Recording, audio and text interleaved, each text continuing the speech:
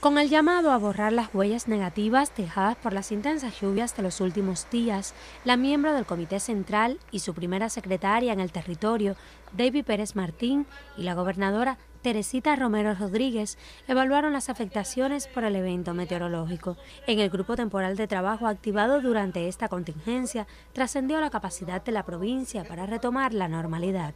Con el mejoramiento de las condiciones del tiempo, las inundaciones han disminuido de manera considerable. De a poco, los caminos quedan despejados de las aguas y favorecen el acceso a las comunidades incomunicadas. Los nueve embalses del territorio se beneficiaron con las aguas y hoy se encuentran en condiciones ideales de superar la media histórica acumulada para el mes de junio. Desde el Centro Meteorológico Provincial se constató la amenaza de al menos 17 nuevos eventos climatológicos, lo que se supone será una temporada ciclónica muy activa.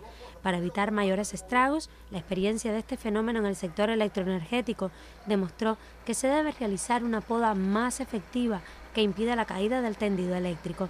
De igual manera, se contabilizaron daños en la agricultura y se insistió en la búsqueda de alternativas para prevenir pérdidas, fundamentalmente en el acopio de leche.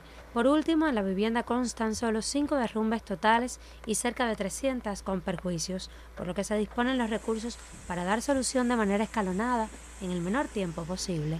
Aileen Rosa, Noticiario en Marcha.